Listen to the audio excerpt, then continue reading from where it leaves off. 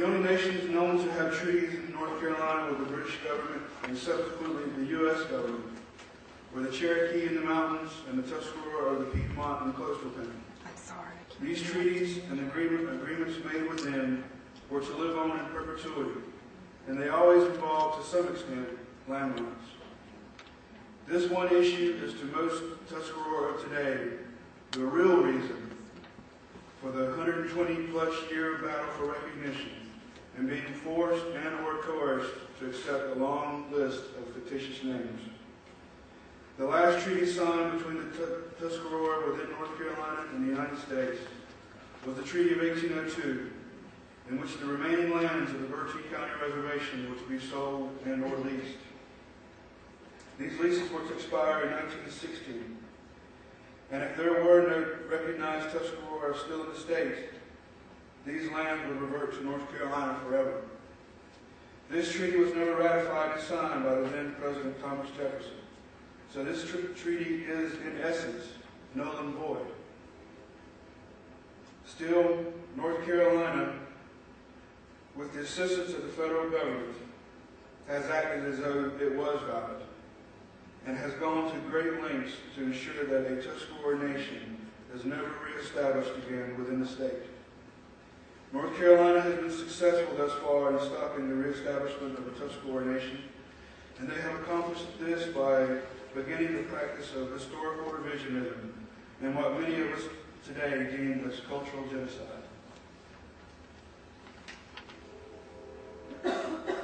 This began on February 10, 1885, with the passage of the Croatan Recognition Bill by the North Carolina legislature.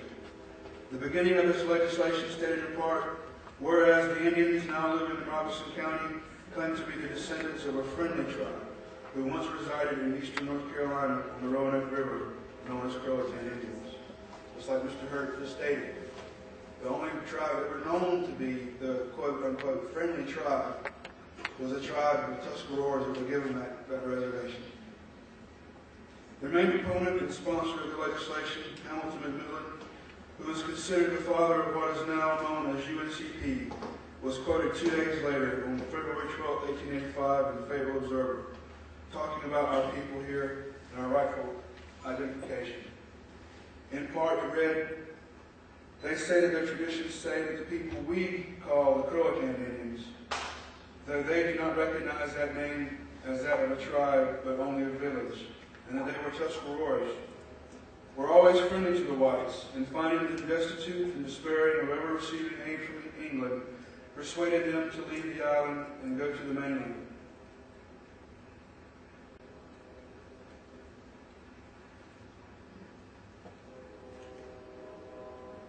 They gradually drifted away from their original seats and at length settled in Robeson, about the center of the county.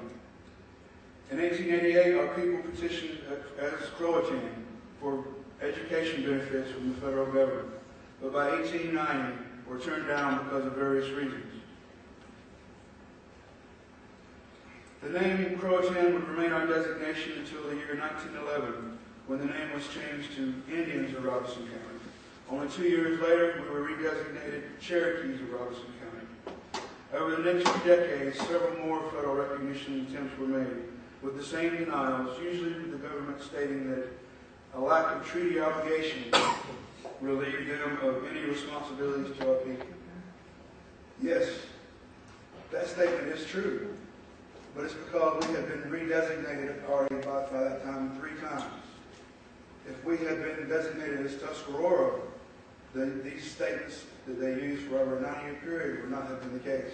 They could not have used that as an excuse. In 1914, the U.S. Senate directed the Secretary of Interior investigation to be made on the condition and tribal rights of the Indians of Robeson County. And report to Congress what tribal rights, if any, they have with any band or tribe, whether they are entitled to or have received any lands, or whether there are any monies due them.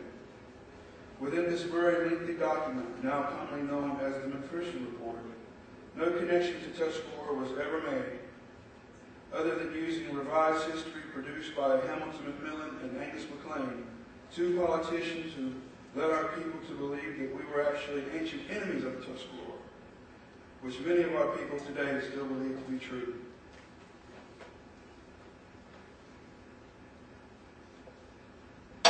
During the same time frame, the Tuscarora Nation of New York began an attempt to reclaim land within North Carolina.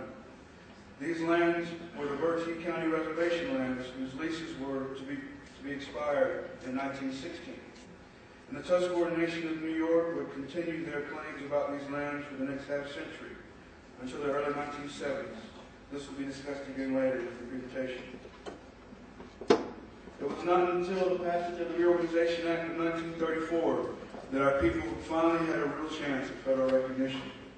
This act, which allowed non-reservation Indians to reorganize, reinvigorated our people's hopes, but these hopes too began to fade. By this time, there were several factions here.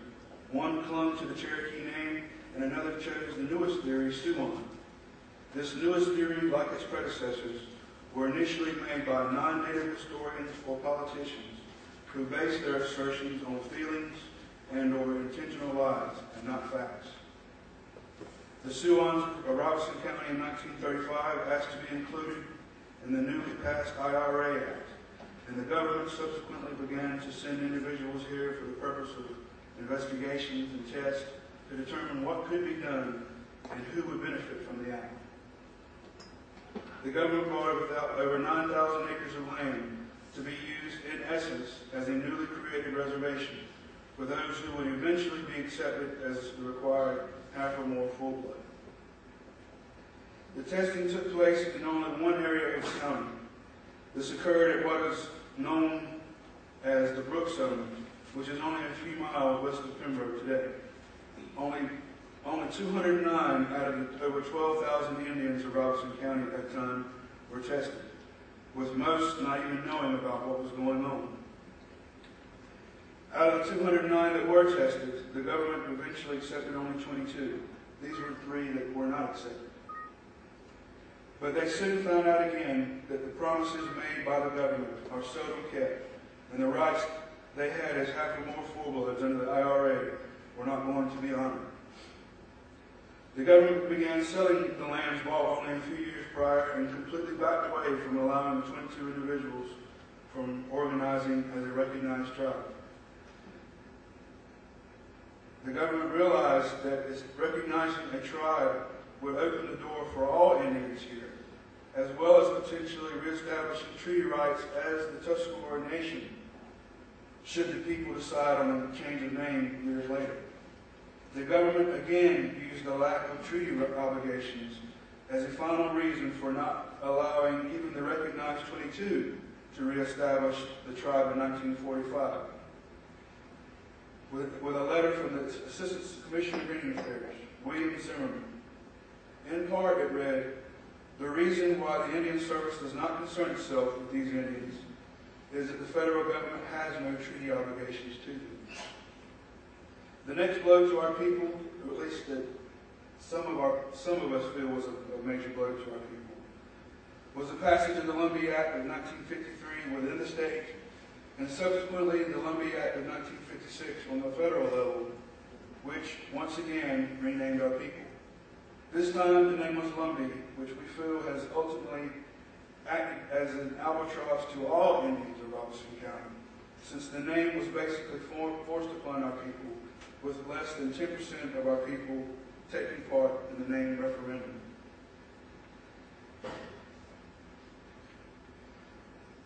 Excuse me. In 1955, prior to the passage of the Lumbee Act, government representatives again used the lack of treaty obligations as the ultimate reason to refuse full recognition. One letter from the Assistant Secretary of the Interior stated in part, the United States has entered into no treaty agreement with the Indians of Robeson and adjoining counties, and it has recognized no obligation to furnish them services that are furnished to the citizens of this country who are recognized by Congress as Indians. Since 1956, since 1956, the government has continually viewed the Lumbee Act as a termination act, thereby using it today as a reason for denying full recognition for anyone living in Robeson County. For the next 15 years, things were pretty quiet, and it was not until about 1970 that recognition efforts began again. this time, though, many of our people who never accepted the Lumbee name began to reorganize themselves as Tuscarora specifically.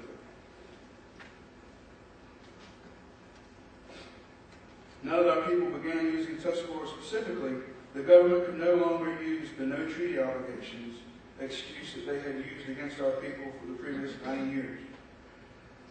Also, during the same time frame, the Indian Claims Commission suddenly changes their stance regarding the Tuscaroras in New York, now saying that they were the correct party to bring suit in regards to the Virgin lands, and reconfirming that the 1802 treaty was never signed by the President. Please note that this took place only after the Tuscarora movement reemerged within North Carolina. By this time, the eight surviving individuals that were recognized in the 1930s helped to reorganize the Tuscarora movement and once again approached the BIA with a request for a reservation and recognition as Tuscarora. This request perplexed the BIA, partly because those now working within the BIA knew nothing of the 22 receiving recognition 40 years prior. And they didn't know what to say because of the language of the Lumbee Act and how it might affect these individuals. When the government finally answered their request, they began to use the Lumbee Act language as a convenient excuse, unilaterally stripping the 22 of the rights given them decades before. As a result, Tuscarora leaders approached the Native American Rights Fund, asking for their assistance in fighting this new ruling by the BIA. A federal lawsuit was filed in 1973, and within a few months, the presiding judge ruled in favor of the defendants, the United States.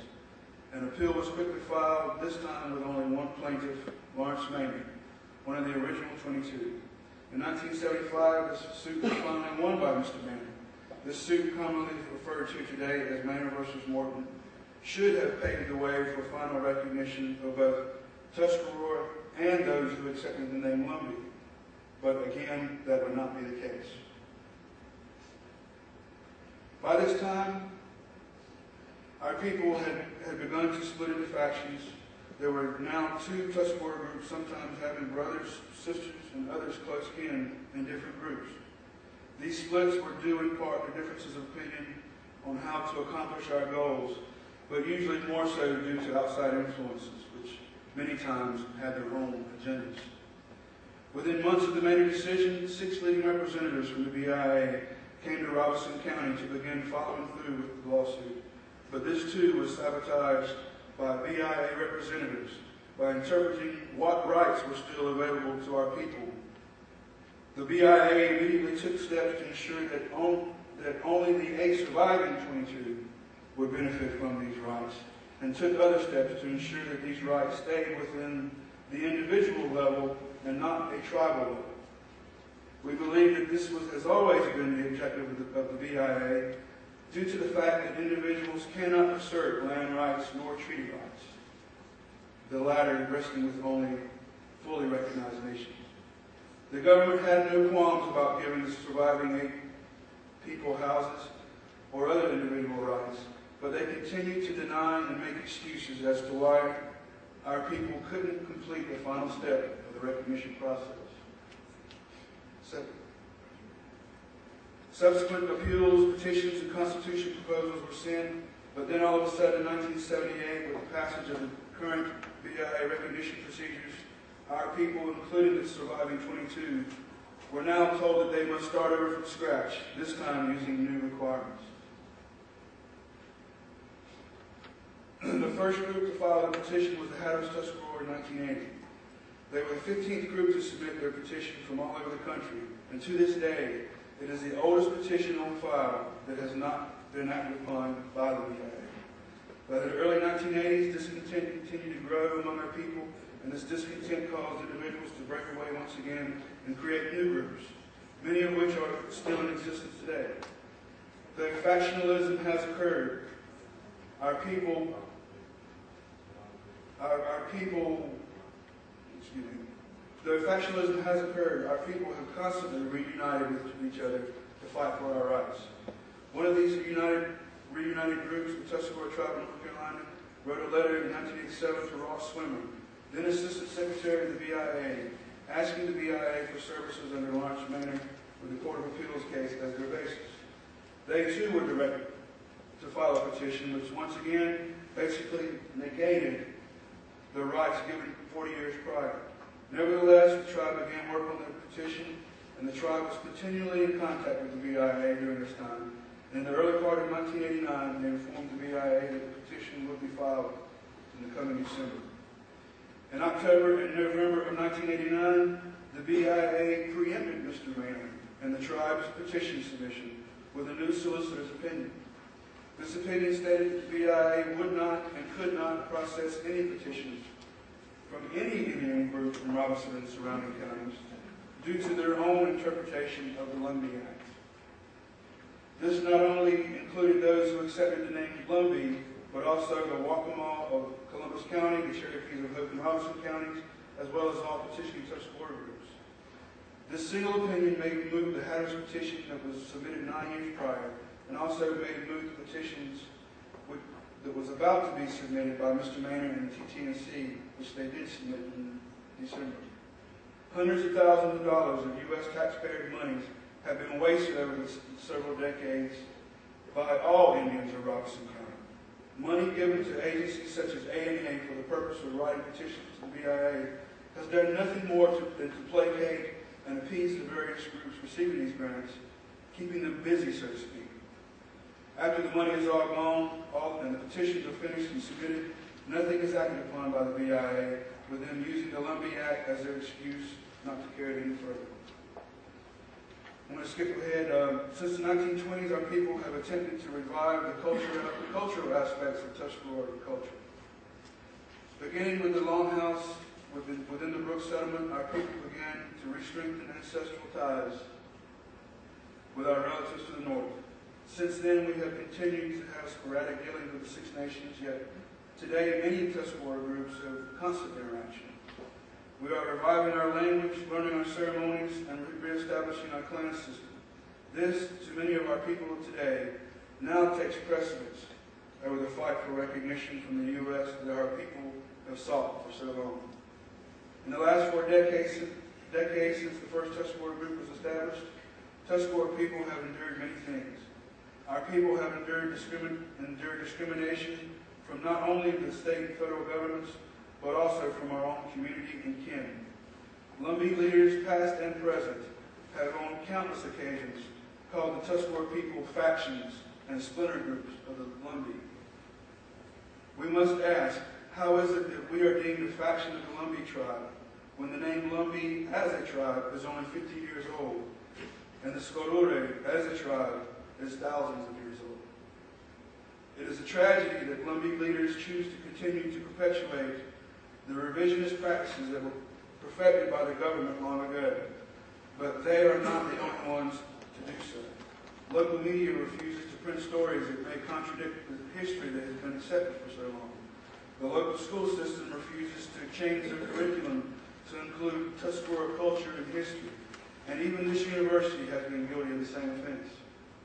Regardless of the seemingly insurmountable odds, we as Tuscarora will survive and continue to grow. We will continue to enlighten our people, regardless of name, as to the truth of our history as we see it. And eventually, the truth will prevail. Now,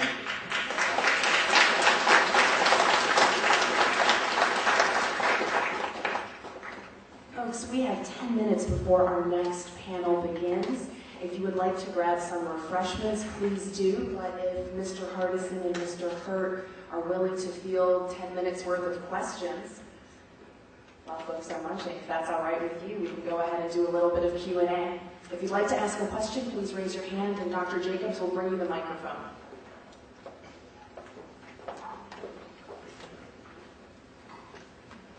I just want to make a comment um, about this whole issue of And as Mr. Hardison very efficiently outlined the, the change of names and regions of the area, I think it's important to point out, even going back to Powhatan, that Powhatan Indians of Robeson County and Cherokee limits were imposed from the outside. That's why we were so quickly to oppose them. We didn't like Croatan because it became uh, very divisive and um, it was based on the Milton spirit. Um, We didn't like Indians of Robeson County because it was too general, it didn't mean anything. We didn't like Cherokee Indians of Robeson County because we didn't feel we were Cherokee. So all three of those were externally imposed names on our people. And it wasn't until the name Lumbee came about that the name was chosen by the religious leaders of our community, the Lumbee Brotherhood. So it was an opportunity for us as a group of Indian people to name ourselves. And that's very traditional among Indian people. And even in the twentieth century, there are other tribes who have taken on their traditional names, the Winnebagoes, the Papagos. So I think we were just fifty, hundred years late in doing the process. So I don't find the London name artificial or superficial. I think it has its name rooted in the name of the river, and it's the name we as a people have chosen to claim. That doesn't mean that any exclusion of Tuscarora presence, I'm not suggesting that. I'm just saying that this, this dismissal of the, the lovely name, I think is, is, um, done to purpose.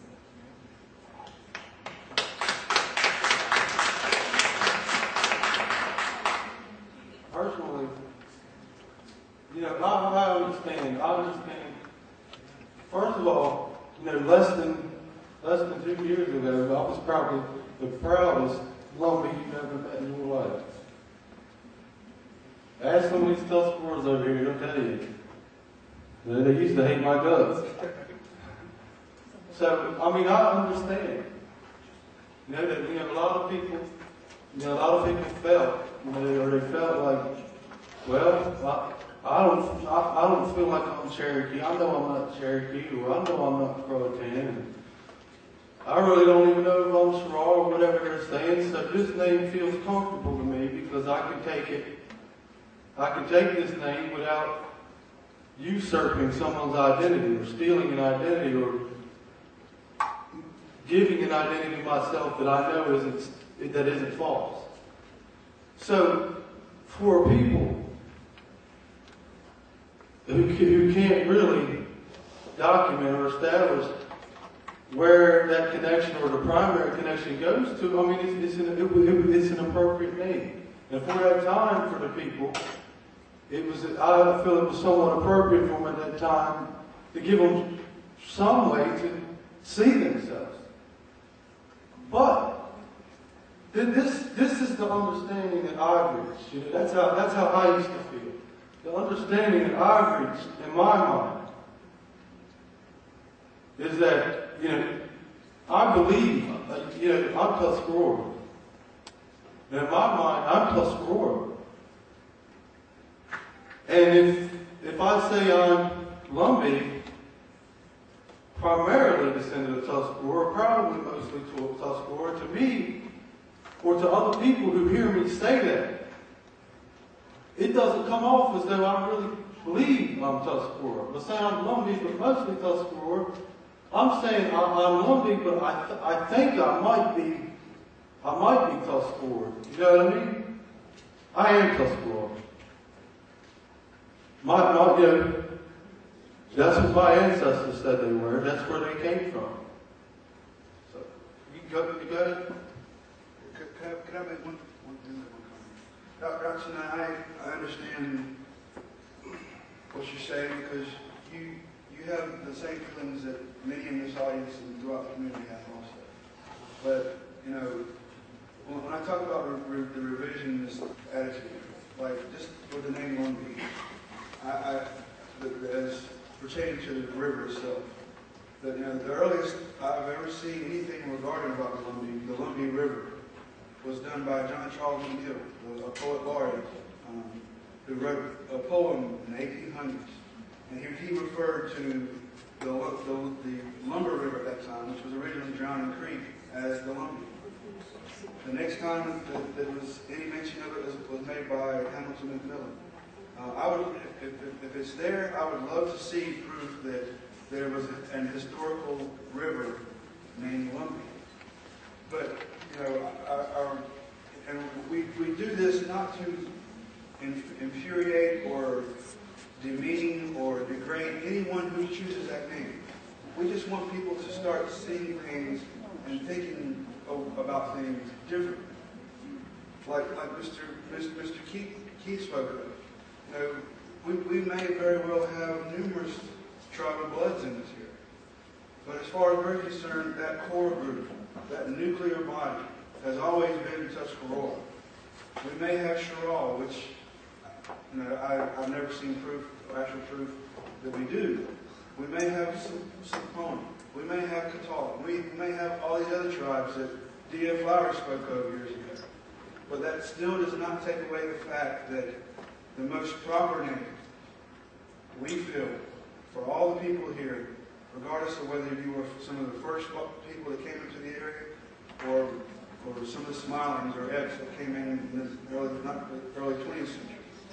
Regardless of what you were before, like Mr. Key says, it's the traditional way not to continue what calling what yourself, calling you yourself what you were before. Not to forget what that what that is, but the national identity, because that national identity to us and to the federal government is always important. Because they have always used against us that we, we cannot trace from a historical tribe. But, but we must ask, why is it D.F. Lowry was Henry Berry Lowry's nephew? Everything ever written about Henry Berry said he was a Tuscarora. Yet, and even Mr. Lowry in the 1950s and, and before stated that our people had Tuscarora blood. But why is it today that in the, like in the Lumbee petition, and like, like I said, local media, the curriculum in this school and all the other schools in the area, they, they seem to minimize and, and, and kind of brush off the importance of the Tuscarora connection to our people. And that does no service to anybody but the federal government and the state government. That's what they want our people to, to do, is forget about our past. Okay.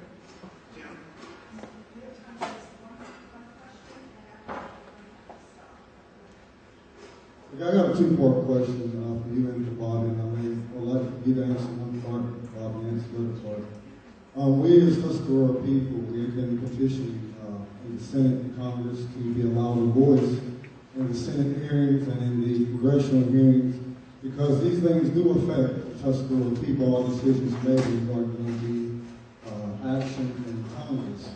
And why do you think, and why does Bobby think that so many people like Arlinda Locklear, um, like many of the political leaders, and like as Dr. Knox stated, church leaders, Christian leaders, people who are responsible in a Christian manner, have worked so hard to keep us as Tuscaroras quiet on the Senate level, quiet on the congressional level, and we have had to work with our know, Shawnee brothers and sisters, particularly the Onondaga Indian Nation in New York, to try to get a voice. Why do you think that is? If, if what we're saying is all hypotheticals, and what we're saying is, is not factual. And, and we are willing to share all of our information that we have with the BIA, and the Lumbees want to keep a close record on their so-called issue. Well, you know, many of us feel that the only reason that that hasn't occurred, and, you know, as, as late as 1991, such Tuscaroras were allowed brief entrance in, into these Lumbee hearings. Um, but, I mean, the, the, it seems pretty reasonable to assume that the only reason that we're not allowed and, and is because that we're teaching and that we're promoting history, identity that is totally contradictory and, and undoes every and undoes everything that has been associated and taught about the people here, especially for the last, say, 50 years. You know, it, um, it, it is it is a shame that that's not that we're not allowed the same forum. But today, I hope today is a new beginning. We want to thank the, the UNCP staff for allowing us to come in and, and have our say. Um, but, but Tim, you know, that's people, people that you're referring to will really have to answer those questions. because, Ms. Lockley?